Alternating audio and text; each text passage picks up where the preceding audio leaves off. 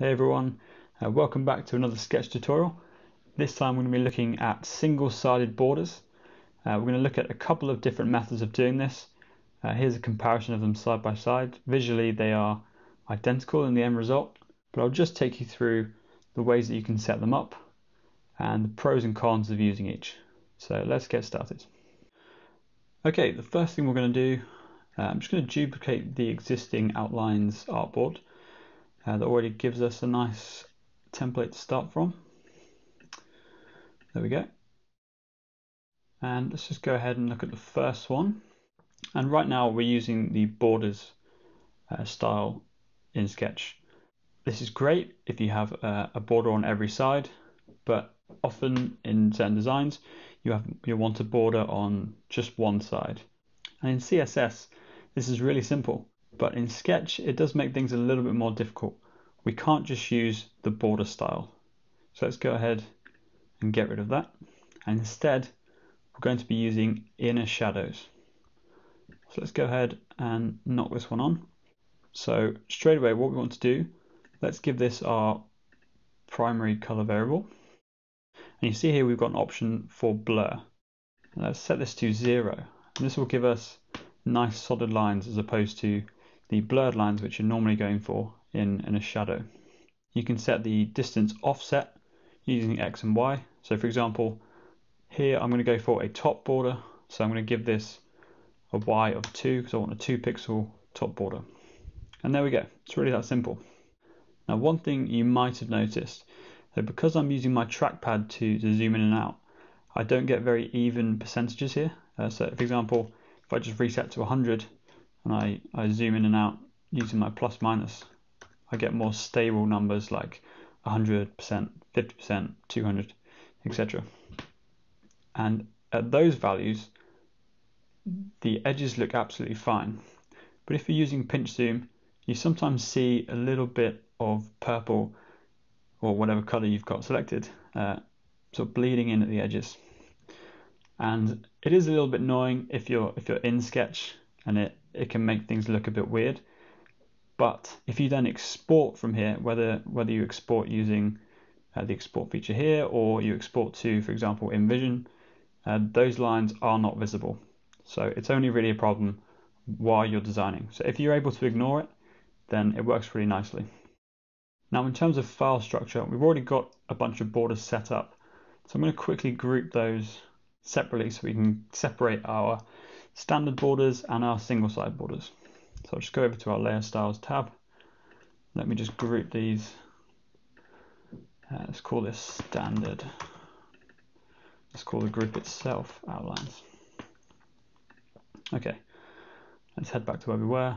So for this one here, I'm going to create a layer style. Let's call it outlines single sided, two pixel, great, primary one, 900. And there we go.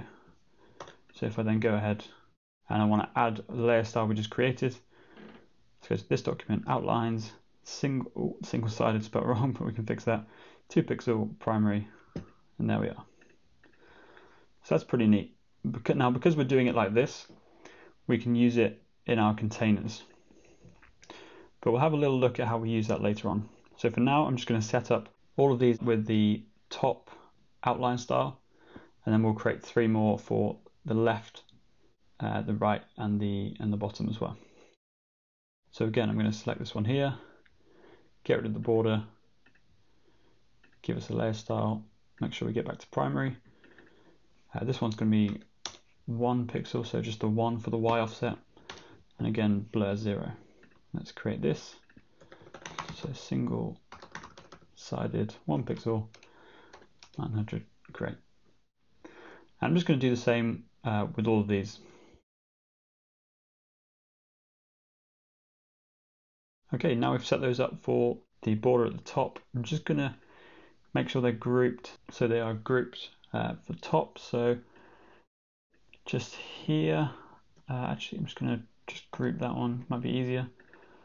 Let's call the group itself single-sided, and then let's call this top. And now we have everything nicely arranged, and we'll do the same with uh, right, bottom, and left as well. So let's head back to our core styles. Let's give ourselves a bit of room. I'm going to rename this one so we know what we've got here. So a single sided top.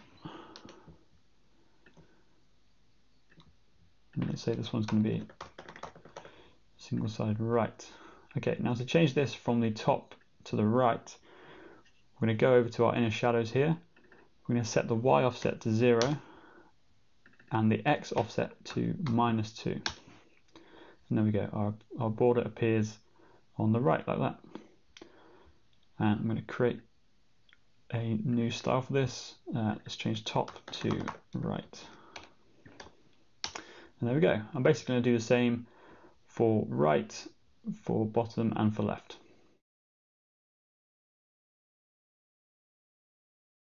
Okay, that's done for the right side. Two more left to go. Do the bottom and do the, the bottom border set x offset to zero and y offset this time will be negative. And there you go. Got our bottom border. So now I'm just going to do these and create the layer styles for them.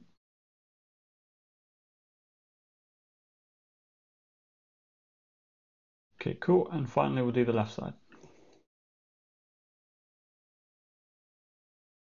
So let's rename this to left. And let's have a look at how we can create that. So this time we'll change the y offset to 0 and the x offset will be 2 or whatever value you want. And there we go, we've got our left border. So I'm going to go through and create all of these.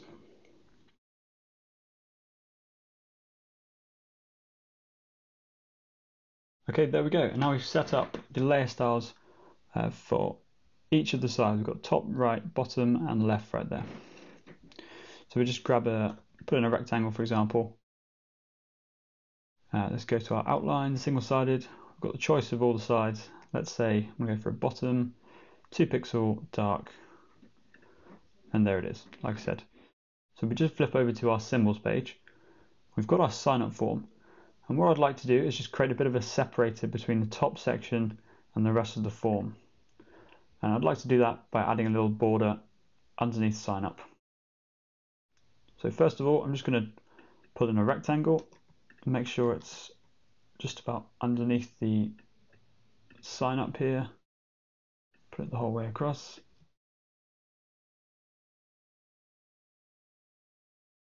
And let's pull the rest of the elements of the form down give ourselves some room.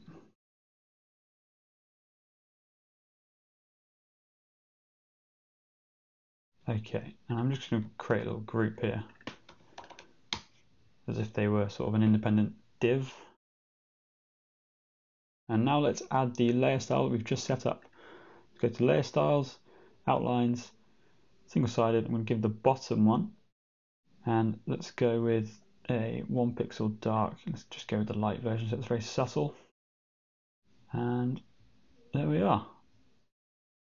So this is one way of doing it. You could also do it in a slightly different way uh, using the container elements that we've already set up.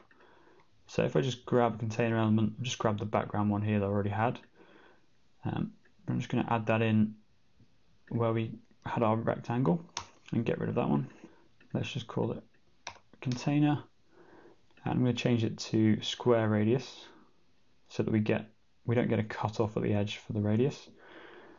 And where we've got our outline we can go in here we can go in and pick out our layer style right here. So dark let's go for the light version. And again there it is. So we can make use of it independently as a layer style or inside of the containers that we've already set up. So that's one way of doing it now I'm going to show you another way of doing it by creating a new set of container symbols. So let's head back over to our core styles page. Let's get rid of that one. I'm going to go ahead and just duplicate our containers artboard that we created earlier. And I'm just going to get rid of all of them apart from the square radius one. So let's detach this symbol. I'm going to straight away I'm going to get rid of the existing outline. I'm going to go ahead and duplicate the existing fill and resize that to whatever size border we want. In this instance, let's go with two pixels. So that's there. Let's just set the fill to a light background so we can see the border. Uh, let's go with just light base. Okay, now we can see our primary border at the top here. Let's make sure we pin this to the top, left and right and fix the height so that'll always stay at the top. And then we can go ahead and create a symbol from this and call it containers. Uh, let's just say border top 2 pixels. Now because this is using layer styles for the fill of the border, uh, we can change those to whatever we like. So oh, let me just change the name so we can we know which layer is which. So I'm going to call the fill, let's just call that border. And let's go back. Now we can see this one right here. So I can go ahead and change this to whatever I want. Change the error, make it the light color if we want. That's just an example, but we have access to those right there. So let's go ahead and make versions of these for border top, right, bottom and left and, and for 2 pixel and 1 pixel for each. And to do this, I'm just going to head to the symbols page and start doing it there. So let's duplicate this one, call it border right. Go in and resize our existing border. There we go. I'm going to change the constraints so it's constrained in its fixed width and it's pinned to the top right and bottom.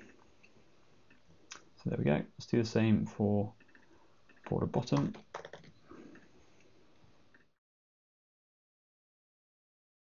Change the constraints again. Again, constrain the height this time. Make sure it's left, bottom, and right. And then the left side.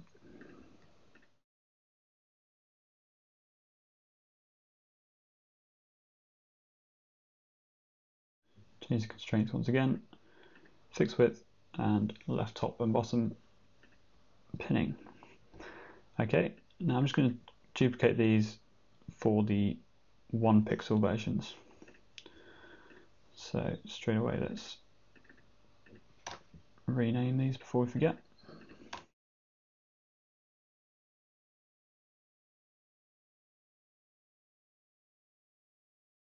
And I'm going to resize the borders to one pixel.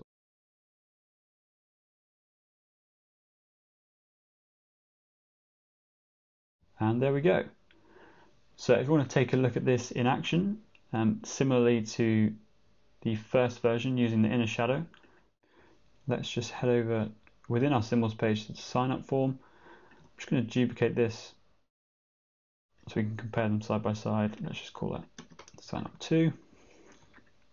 And instead of this container, which you've got here, I'm going to sub this in, head back to our containers here, sub this in for a border bottom one pixel right here.